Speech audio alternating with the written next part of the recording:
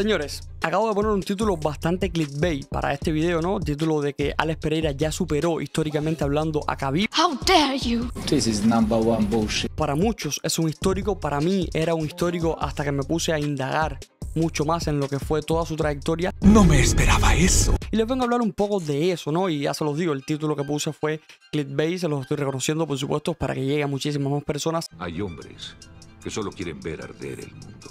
Realmente creo que Alex Pereira ya superó a Khabib, históricamente hablando. Yo creo que no me voy a venir tan arriba y no voy a decir que ya lo superó, pero que sí lo igualó. Al menos ya Alex Pereira acaba de igualar lo que es el legado, lo que es todo lo que hizo Khabib en su momento. Que ya sé que para muchos, pues, esto va a ser una opinión completamente impopular, para otros va a ser una opinión sumamente popular. Aquí es un poco lo que pasa con Ilia Topuria, que eh, está bastante extrapolado ese tema, ¿no? Que hay como dos bandos completamente opuestos, como que no hay un punto medio. Cuando hablas de Ilia Topuria, o estás con él o estás contra él. Y esto se nota mucho en los comentarios de todos los videos que estamos haciendo, no solo en este canal, sino en otros canales que hablan también de MMA. Cuando hablan sobre Ilia Topuria, pues te das cuenta que hay comentarios que son blanco o negro, no hay un punto gris.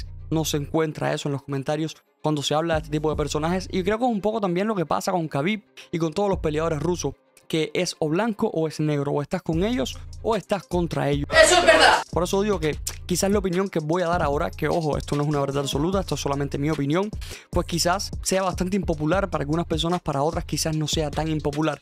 Pero el hecho es, señores, de que si nos vamos históricamente a hablar, Khabib tiene un 29-0, ya está retirado de las MMA, logró defender en tres ocasiones su cinturón de 155 libras y se considera que es un histórico de las 155 libras, el tipo que, que más ha hecho en esa división. Luego, si te vas a Alex Pereira, pues es un tipo que tiene un récord de 12 victorias, 2 derrotas, no está invicto, no tiene la cantidad de peleas que tiene Khabib, pero sin embargo se ha enfrentado a cinco ex campeones de la UFC, a los cuales ha vencido a cada uno de ellos. Por otro lado, pues el tipo es doble campeón y ya tiene tres defensas por el cinturón en la categoría de 205 libras. O sea, un poco por aquí vamos viendo ¿no? lo que son los datos, lo que son las estadísticas de cada uno de los peleadores y se pueden ir comparando históricamente, por supuesto. Claro, yo sé que muchas personas me van a venir a decir de que Alex Pereira fue noqueado, de que Alex Pereira Israel Adesanya en su momento lo noqueó y muchas personas nuevas tienen a Khabib como un dios sin tan siquiera haber sabido su historia. Porque muchas personas escuchan lo mismo que decimos en este canal, que hemos comentado en algunas ocasiones, lo mismo que otros canales comentan, el hecho de lo que siempre se habla de Khabib, que es, bueno, Khabib fue un peleador que en toda su carrera solamente perdió un asalto, que fue contra Conor McGregor. Luego Khabib nunca sangró dentro del octágono, lo cual es una cosa sumamente increíble y esto hay que decirlo porque realmente no sangrar en un deporte en el cual te pueden cortar tan fácil con algún codo, con cualquier tipo de golpe, con guantes tan pequeños como los que se usan en la UFC, pues realmente los cortes es algo bien frecuente que se ve dentro de la compañía y el hecho de que Khabib nunca haya recibido un golpe, pues nunca haya recibido un corte, perdón, pues es algo bastante impresionante, ¿no?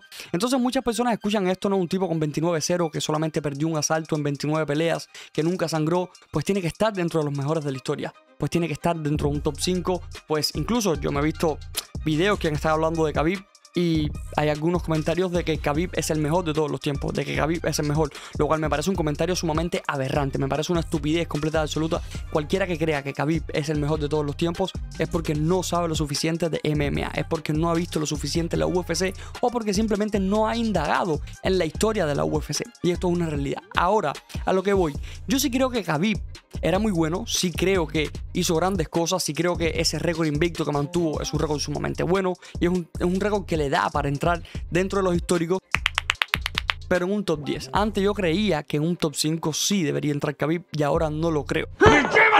Y sí creo que Alex Pereira aún no supera, históricamente hablando, a Khabib en cuanto a un ranking histórico, pero creo que sí está igualado. Creo que ya lo acaba de igualar. Y ya, como ya les dije, sé que me van a decir de que el caos que recibió Alex Pereira que recibió un KO, que Khabib nunca fue tocado, que Khabib perdió un solo asalto, ya todas estas cosas me las sé. Pero señores, hay que hablar de una cosa que creo que nadie está hablando, porque está muy bien el 29-0, pero ¿contra quién peleaste? Si nos vamos a ver las estadísticas de Khabib dentro de la UFC, más adelante les voy a hablar de las estadísticas fuera de la UFC. Si nos vamos a ver las estadísticas dentro de la UFC, nos vamos a dar cuenta de que Khabib, en 6 años que estuvo dentro de la compañía, el tipo solamente peleó contra 6 peleadores top. No contra peleadores cualquiera, porque incluso tuvo peleas que fueron en corto aviso, que su rival venía en corto aviso, tuvo peleas en las cuales estaba peleando contra tipos que eran debutantes. Entonces, para mí son peleas que realmente te dan un mérito deportivo, pues no lo sé, no lo creo. Khabib debutó en el 2012 y se retiró en el 2020. O sea, estuvo 8 años peleando. Sí es cierto que estuvo 2 años de inactividad por todas las lesiones, las lesiones de rodilla que tuvo. Estuvo dos años sin poder pelear, ponle que fueron de esos ocho años, estuvo activo durante seis. Pero es que en esos seis años peleó solamente con seis rivales que eran tops, con seis rivales que eran verdaderamente élites. Me estoy refiriendo a peleadores como Conor McGregor, como Gaethje, como Dustin Poirier, como Edson Barbosa, como Johnson y como Rafael Dos Anjos. Son los únicos nombres que realmente debemos ponerle a Khabib, porque fuera de eso, todos los demás peleadores que Khabib enfrentó, pues no eran peleadores de alto nivel no lo eran. Sin embargo, Alex Pereira, en tan solo tres años que está dentro de la UFC, Alex Pereira debutó en el 2021, pues en tan solo tres años prácticamente ya que van a ser que está en la compañía, se ha convertido en doble campeón, ha defendido su cinturón en tres ocasiones y ha vencido a cinco ex campeones de la UFC, lo cual no es algo que haya que tomar a la ligera, señores. Y todo esto que les estoy diciendo ha sido tan solo en un periodo de tres años, o sea, le tocó la mitad o le, le tomó en tiempo, tardó la mitad en, hacer, en convertirse en campeón y hacer tres defensas por el cinturón. De hecho, convertirse en doble campeón, hacer tres defensas por el cinturón, le tardó solamente la mitad del tiempo que le tocó a Khabib convertirse en campeón y luego defender en tres ocasiones. Por otro lado, sé que muchas personas me van a decir de que Khalib Rountree Jr. no es un tipo que debería estar peleando por el cinturón. Yo estoy completamente de acuerdo con esto.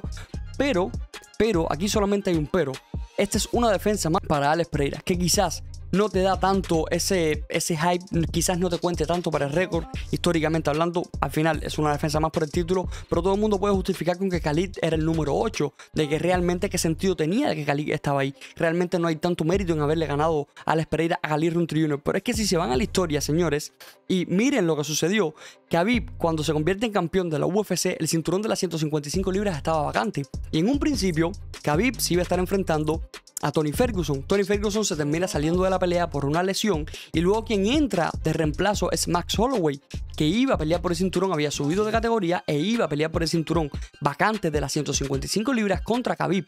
¿Qué pasa? Que el día del corte de peso, los médicos paran el corte de peso de Max Holloway y Max Holloway se queda también fuera de la pelea y entra por consiguiente Al Iaquinta, que es quien termina peleando por el cinturón vacante de las 155 libras con Khabib, con solamente un día de anticipación para esa pelea. Solamente tuvo un día para preparar una pelea contra un tipo que venía invicto, un ruso sumamente bueno, porque una cosa no quita la otra. Khabib era buenísimo. Entonces, realmente, si la pelea de Alex Pereira ante Khalil Rountree Jr por Khalid ser el número 8 del ranking no tiene tanto mérito, pues díganme ustedes qué mérito tiene Khabib al haberse convertido en campeón de 155 libras ante un tipo que primero era el número 11 del ranking de las 155 libras en aquel momento, más había tomado la pelea con tan solo un día de anticipación. Entonces por ahí no hay justificación. No pueden sacarme la pelea, no pueden decirme de que Khalid Rountree Jr. no merecía estar ahí y a Quinta merecía muchísimo menos estar ahí. Al menos Khalid Rountree Jr. era el número 8, tenía una mejor posición, más tuvo un tiempo para, para, preparar la pelea contra Alex Pereira. Aya Quinta era el número 11, llegó de rebote y con tan solo un día de anticipación. Pero las cosas no solamente terminan ahí. Hay mucho más de Khabib. Si te pones a mirar la historia de Khabib, si te vas realmente a lo profundo con Khabib Nurmagomedov, señores, te vas a dar cuenta de que tiene un récord que está bastante inflado. Y esto es una realidad. Es un récord que está muy inflado. Yo no quito que Khabib era un peleador extraordinario, que Khabib era un peleador sumamente bueno. No lo quito. Y de hecho, aquí en el canal hay un debate en el cual yo debato con Nesty. Y Nesty tenía la opinión de que Khabib ni siquiera está dentro del top 10. ¿Qué? ¿Cómo que no? Y yo creía que Khabib, para mí, estaba en el top 5. Y aquí está el debate en el canal, lo pueden buscar. Nosotros tenemos un debate sobre la historia de Khabib. Tenemos un debate sobre en qué posición históricamente del ranking debería estar Khabib. Y yo defendía de que Khabib debería estar en el número 5. Pero me puse a indagar en lo que fue la carrera de Khabib. Me puse a indagar en lo que fue su tiempo fuera de la UFC, en qué hizo. Y te vas a dar cuenta que fuera de la UFC, antes de ser contratada por esta, pues Khabib alcanzó un récord de 16-0, 16 victorias y 0 derrotas, lo cual está muy bien. Pero es que claro, si te pones a mirar los récords de los oponentes a los cuales enfrentaba Khabib, te vas a dar cuenta que era una liga muy fácil. Te vas a dar cuenta de que era una liga donde no había competitividad, No había ningún tipo de competitividad. De hecho, hay varios tipos y le voy a estar dejando la imagen por aquí que la saqué de un video de IQ5 que él lo pone en la historia que hizo respecto a Khabib, ¿no? La historia de ascenso de Khabib. Él puso esta foto y me estuve guiando y me estuve buscando y mirándome esa tabla. Se las voy a poner aquí en el video también, en el cual se ven los peleadores y se ven los récords de los peleadores que Khabib estaba venciendo. Aquí se ve, se ve que venció a más de un peleador que tenía récord negativo como 0-4, otros peleadores que estaban debutando. Khabib de hecho cuando hizo el 15-0 lo hizo ante un tipo que estaba debutando en MMA y su última pelea como profesional fuera de la UFC fue ante un veterano que tenía 28 victorias y 23 derrotas. O sea, prácticamente los récords que ves aquí son de 4-3, 4 victorias, 3 derrotas, 1 victoria, 1 derrota, 0 victorias, 2 derrotas, 13 victorias, 9 derrotas, 2 victorias, 0 derrotas, 0-0, estaban debutando, 0 victorias, 4 derrotas, récord negativo. O sea, ¿qué mérito realmente tienen el récord de 16-0 de Khabib fuera de la UFC. Prácticamente ninguno, al menos desde mi punto de vista, prácticamente ningún tipo de mérito tiene porque estás peleando en una liga que no es competitiva, simplemente no la es. O que simplemente pues Khabib sí es cierto que era muy superior, y no solo ahí, en la UFC era muy superior a muchísimos peleadores, pero es que estaba peleando en una liga en la cual no era competitiva. Porque si te pones a mirar los números de esos peleadores, los récords te lo dicen todo. Récord gran mayoría prácticamente negativo, otros que tenían solamente una o dos peleas en MMA y otros que tan siquiera habían peleado, que simplemente estaban debutando. Entonces, si te pones a mirar todas estas cosas, realmente te vas a dar cuenta de que Khabib, primera, no está dentro de un top 10 histórico, no puede estarlo, y segunda, Alex Pereira puede superar lo que es la historia de Khabib, la puede superar con creces porque ya Khabib está retirado y no va a regresar porque no lo va a hacer. Sin embargo, Alex Pereira aún no se ha retirado. Alex Pereira todavía tiene cosas que decir. Entonces, por eso digo, creo que aún no me voy a venir arriba diciendo de que Alex Pereira ganó o que Alex Pereira ya superó a Khabib históricamente hablando, pero sí creo que lo igualó. Sí creo que Alex Pereira ya ha igualado históricamente hablando lo que hizo Khabib en este deporte, en la UFC, versus lo que está haciendo Alex Pereira ahora mismo, señores. Hay que tener un gran respeto a Alex Pereira por todo lo que está consiguiendo y créanme que estamos ante una de las estrellas más grandes que está dando las MMA. Déjenme saber ustedes, señores, lo que piensan aquí abajo en la parte de los comentarios. Déjenme saber si creen que Khabib debería entrar en un top 5 histórico, si creen que Alex Pereira puede llegar a superar a Khabib o si creen que Alex Pereira simplemente están en desacuerdo completamente conmigo y creen que Alex Pereira pues no ha superado o no ha igualado como yo creo a Khabib históricamente hablando. Déjenmelo saber que lo voy a estar leyendo aquí abajo en los comentarios. Yo lo dejo por aquí, nos vemos en el próximo video.